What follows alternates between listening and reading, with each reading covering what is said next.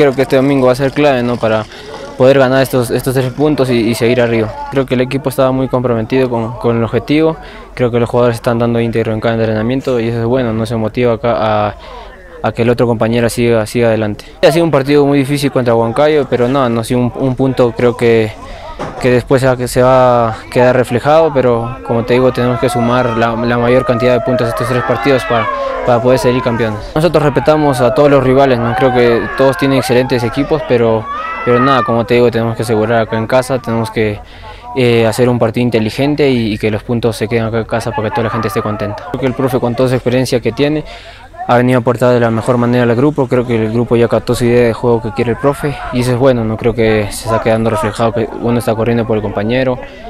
Y eso es bueno, no creo que la gente se haga contenta con el partido que vamos el día de domingo. Contento ¿no? por, por volver al 100%, creo que estoy llegando de a pocos, creo que estoy volví al gol el partido antepasado, pero nada, no espero sumar este partido, volver al gol otra vez y, y nada, darle toda alegría a toda mi familia. Yo creo que estoy muy feliz acá, muy muy contento en mi nacional, creo que estoy agradecido con toda la directiva.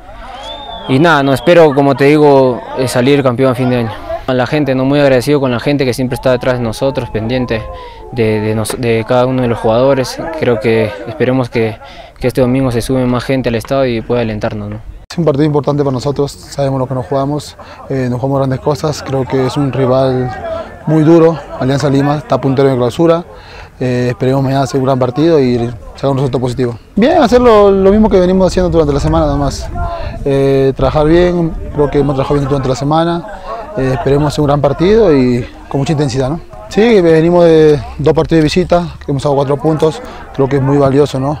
ganar en Moyobamba es difícil, lo podemos ganar, creo que en Huancayo sacamos un empate, es un punto también de oro creo que son cuatro puntos muy importantes para nosotros, para lo que aspiramos. ¿no? Eh, ahora de local creo que tenemos que sumar de tres, estamos en la obligación por hacerlo valer esos cuatro puntos de visita. ¿no? Tranquilo, me siento bien, con mucha confianza, eh, creo que he hecho un gran año, espero cerrarlo así este año y Dios mediante poder también el domingo jugarlo y por qué no marcar un gol. ¿no? Creo que nadie se imaginaba esta campaña, es una campaña muy admirable.